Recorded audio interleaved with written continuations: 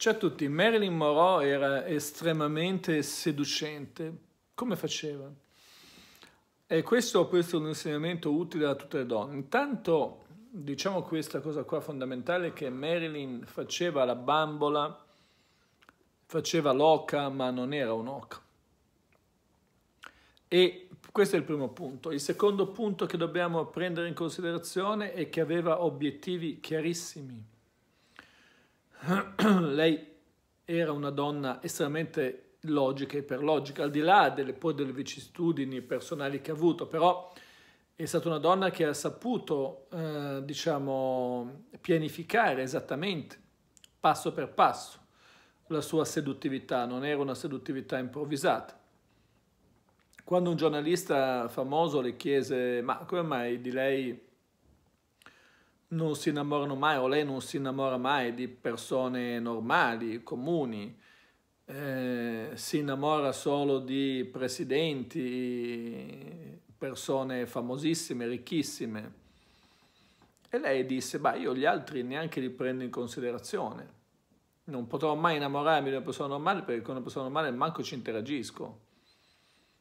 Normale inteso nel senso di non famosa. Quindi lei eh, al di là di ogni giudizio morale, eh, perché qua non c'entra giudizio morale, lei aveva definito bene il suo target. E questa è una cosa importante. Se noi dobbiamo definire un target, dobbiamo frequentare persone che siano connesse con quel target, e, come dire, e quindi frequentare ambienti che siano connessi con quel target. Se eh, mi interessa eh, una donna intellettuale, difficilmente andrò a cercarla in, eh, in, una sala da ballo, non perché in una sala da ballo non ci possa essere una donna, una donna intellettuale, ma perché, eh, come dire, non, eh, statisticamente ce ne sarà una ogni chissà quando.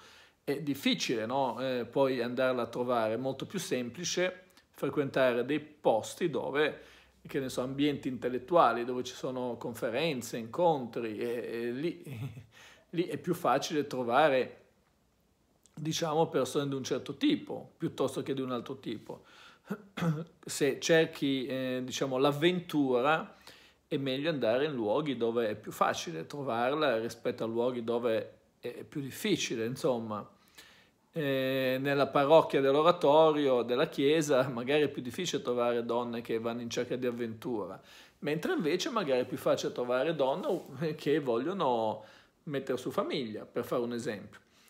Eh, quindi noi dobbiamo definire un target e questo è già seduttivo, perché viviamo in un mondo talmente vasto, pieno di stimoli, pieno di persone, dobbiamo focalizzarci sul target che ci interessa.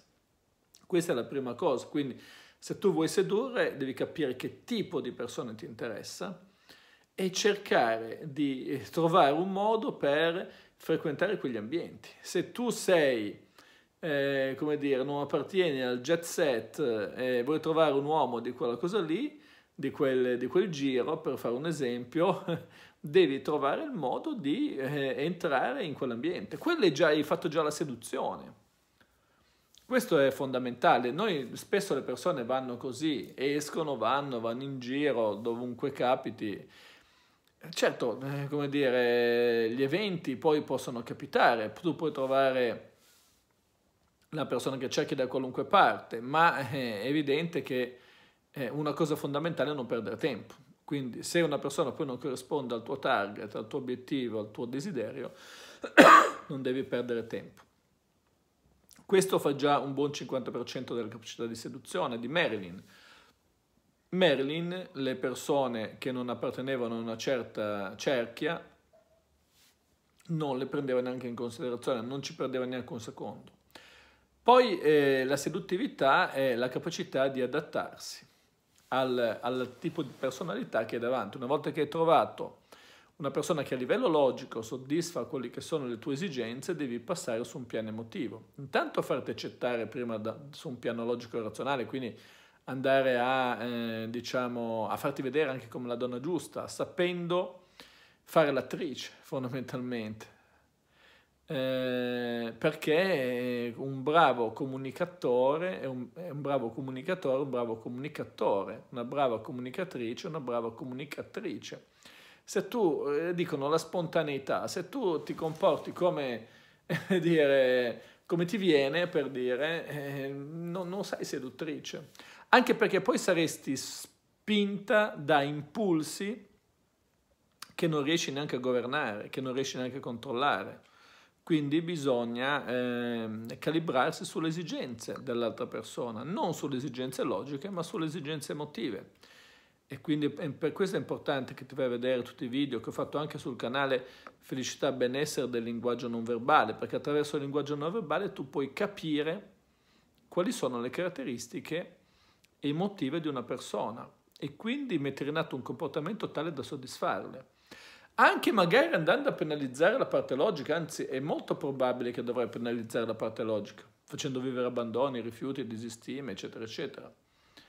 E questo è quanto devi fare. Marilyn era, aveva questa grande capacità, lei si adattava, lei sapeva fare la donna, come dire, bambina, sapeva fare la donna capricciosa, sapeva fare la donna determinata, sapeva fare la dominatrice e la dominata, eh, sapeva presentarsi sensuale, andare a soddisfare anche i turbamenti più reconditi delle persone. Basta leggere la sua biografia e si capisce come sapeva adattarsi alle, alle esigenze emozionali degli uomini che le interessavano.